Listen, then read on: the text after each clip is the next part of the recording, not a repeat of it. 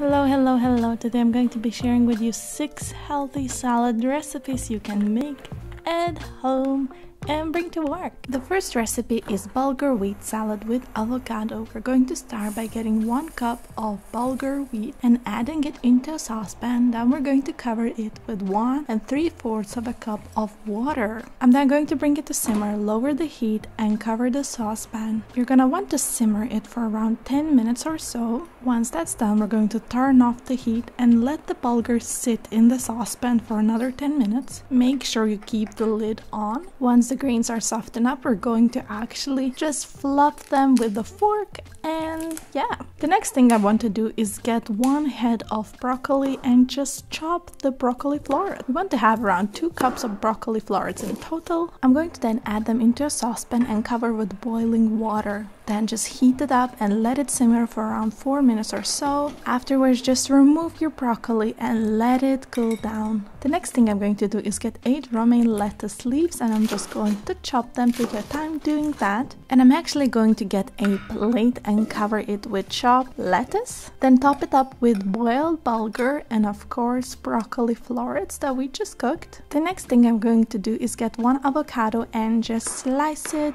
Make sure to scoop out the flesh and do that afterwards. I'm then going to get some green onion, chop it, and of course get some dill and chop it as well. We then want to cover the broccoli florets with avocado slices and green onion and of course dill. Finally, we're going to drizzle our salad with one tablespoon of olive oil. Then you just want to squeeze some lemon juice all over it and actually add a pinch of salt and black pepper. This is a beautiful green salad you can serve as a side dish or have it as a main because it's quite filling and totally, totally nutritious, full of healthy fats, carbs, and you know what? It's full of fiber too. The second recipe I'm sharing with you is chipotle chicken salad. I'm going to start by getting a large bowl and adding 2 tablespoons of olive oil to it. Then I'm adding 1 teaspoon chipotle chili powder, 1 teaspoon of paprika, 1 teaspoon of garlic powder, half a teaspoon of cumin, half a teaspoon of onion powder, half a teaspoon of salt. Cut your lime in a half. Just use fresh lime for that. And I'm going to squeeze in 1 tablespoon of lime juice. I'm then going to add in 2 chicken breasts and cover them with the rub we've just made. We then want to let the chicken sit for 30 minutes or so before cooking and I'm going to actually start making my dressing. So for this salad, we're making honey mango dressing. We're going to start by getting our blender out. I'm then going to get one mango and actually just peel it and chop it. It's gonna take you some time to do that because mango has a huge seed inside it. And then we just want to add those mango pieces into the blender, then add in 2 tablespoons of honey, 1 tablespoon of white vinegar, 2 tablespoons of fresh lime juice that we just squeeze out of those limes, and then of course we want to get two garlic cloves, peel them, and obviously add them into the blender as well. I'm then adding in half a teaspoon of chili powder, one fourth of a teaspoon of cumin, half a teaspoon of salt, one eighth of a teaspoon of black pepper, and of course we want to puree it until it's one smooth texture. And once we've achieved that, we want to actually add in one fourth of a cup of canola oil into it. So now give it a good, good blend. We want to make sure that the mixture is smooth, nice, and we're going to let it sit for a while. So hopefully around 30 minutes have passed and we're going to then actually get our chicken going. I'm going to heat a non-stick skillet over medium-high heat. Once it's hot, we're going to add in our chicken breasts with the whole rub. We then want to cook the chicken for 4-5 minutes on one side until it's nicely browned. I'm then going to turn the chicken over and reduce the heat and let it cook for another 6-7 minutes. Actually, it might even get a little bit burned as you can see and it's absolutely fine. Make sure the chicken is fully cooked before you're serving it. I would suggest to cut into it to see whether there's any pink inside or not. If it's all white, then our chicken is fully cooked and ready to be served. So once the chicken is cooked, we're going to actually let it cool down and I'm going to slice the chicken breasts. I'm then actually going to get a one large bowl and start cutting my vegetables. Cut one head of romaine lettuce and add it into the bowl, then one salad tomato, let's just dice it, take your time doing that. I'm then going to get one avocado, scoop it out and obviously cube it, add it to the bowl as well. I'm then going to add in one cup of corn, half a cup of black beans that are drained and rinsed. Don't forget to do that. I'm then going to get one red bell pepper and just take my time to seed it and chop it and add it into the bowl. Then get half an English cucumber and just peel it and chop it, add it in. And then of course we're going to get some cheddar. I'm going to grate my cheddar cheese so I have around one cup of it and we're going to add it into the bowl and I'm going to finish it all with one fourth of a red onion that's just sliced so carefully toss all the ingredients together because that's quite a few of them. And the next thing I'm going to do is get my salad and separate it into four separate bowls. We're going to actually top it up with chicken slices that we've made and obviously drizzle it with the mango dressing that we actually made before. This chicken chipotle salad is absolutely flavorful, sweet, spicy, it's delicious, it's a great, great healthy meal that will remind you of your chipotle, okay? So, have fun making it. By the way, if you're still watching this video, please smash that like button and subscribe. That helps a lot. The next recipe is fast carrot and beetroot salad. It's great for those cold seasons when you just want a quick salad, okay? I'm going to start by getting four beets that are cooked and I'm just going to grate them. I'm then going to get two good sized carrots, peel them and grate them as well. Take your time to do that right. I'm then just going to get a little bowl and add two tablespoons of balsamic vinegar to it, then two tablespoons of olive olive oil. I'm then going to add in 1 tablespoon of honey and of course a pinch of salt and black pepper. We then just want to give this bowl a good mix because we want all these ingredients combined as well as possible. So then I'm going to get a large bowl and add beets and carrots we just grated and we want to cover them with the dressing. Then just toss the salad together and get some parsley, chop it and just sprinkle it all over the salad. That's it, easy, yummy, naturally sweet salad.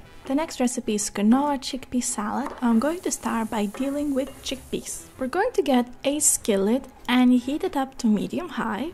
And then I'm going to add in 1 tablespoon of olive oil. I'm then going to add in 1 fourth of a teaspoon of cinnamon, 1 teaspoon cumin, 1 teaspoon paprika, 1 eighth of a teaspoon of cayenne, half a teaspoon of ginger, and of course, we're going to give it a good stir so that the oil combines with the spices we just added in. We then want to get one can of chickpeas that are drained and washed. Then we want to add them into the skillet and add in half a teaspoon of salt. The next thing you want to do is to make sure that the chickpeas are coated with all the spices. So give it a good, good stir. And I'm going to cook the chickpeas for 5-7 minutes in total. Once finished, remove them from the stove and leave them in the pan just to cool down. So the next thing I actually want want to do is cook quinoa, I actually do it in a microwave. All I'm going to do is get one cup of washed quinoa and we're just going to add it into a bowl and cover it with two cups of water. Make sure the bowl you're using is microwave friendly. You don't want to cover your bowl with a plate and microwave it on high for 6 minutes or so. I'm then going to remove it and give it a good stir and we're going to place it back in the microwave covered for another 2 minutes. And finally just let it sit covered for 5-10 minutes and that's it, your quinoa should be done. I'm now going to make a lemon dressing and add 1 teaspoon of Dijon mustard, then 3 tablespoons of white wine vinegar, then 3 tablespoons of olive oil, 1 tablespoon of honey, honey, honey, and 1 teaspoon of fresh lemon juice. We're just gonna squeeze that in. And finally, I'm just going to add in a pinch of salt and black pepper and mix all these ingredients as well as I can because we want to make this lemon dressing right.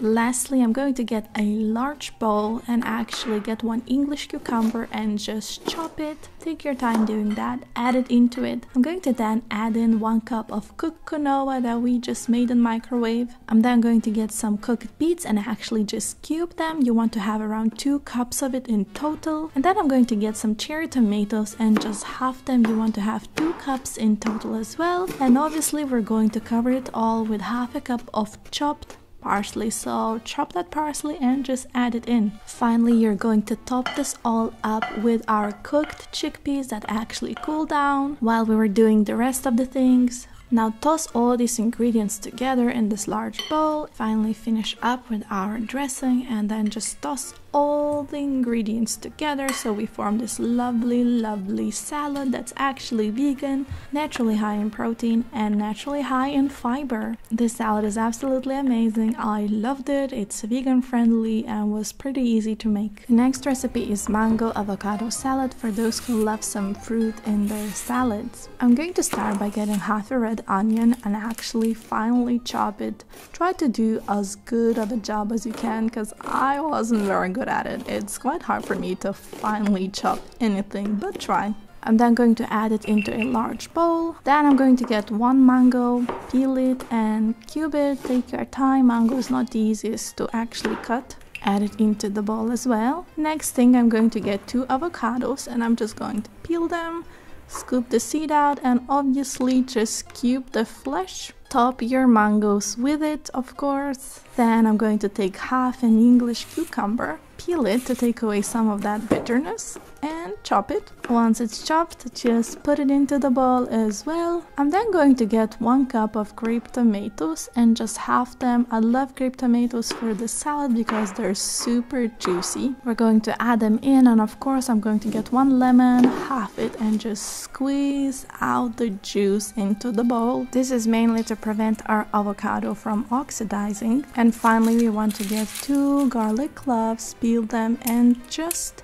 press them into the salad. Finally get some fresh parsley, chop it and of course top the bowl with it. And I'm now going to just combine all the ingredients and serve it in a nice bowl. This salad is super refreshing, it's so sweet, nutritious, I love it. It's great for summers, springs, it tastes great on its own and as a side. The last salad is chicken salad with apples, which is high protein and fun to make. We're going to start by getting a handful of dried cranberries and adding them into a bowl. And I'm going to pour over some boiling water. We then want to leave these cranberries for 15 minutes or so so they get softer. I'm then going to get two chicken breasts that are already boiled and we're going to want to cut them into cubes. I'm then going to get three apples, peel them, de-seed them, and then cube them just like that. Enjoy doing that because apples do take some time to be cubed. I'm going to then get a large bowl, add in cubed chicken, cubed apples, our cranberries, and of course a handful of cashew nuts. I'm then going to get a separate bowl and add in 3 tablespoons of Greek yogurt, half a teaspoon of Dijon mustard, and I'm going to combine these ingredients together until it forms nice one texture, and we're going to finally add it into the salad. Finally, I'm just going to toss all the ingredients together, salt it, and pepper it to my taste and that's it. This is our salad that's ready. It's a lovely salad that tastes slightly different than the other salads you'll ever try. Nutritious, it's full of protein and definitely a great recipe for holidays. And who could have thought that apples and chicken will taste so good together? Thank you for watching this video. I hope you enjoyed these salad recipes. Let me know in the comment section which one is your favorite. By the way, subscribe and visit my website allnutritious.com. That's where you can find all the recipes, full instructions, more help, more advice. Either way, thank you for watching, subscribe, and have a lovely day!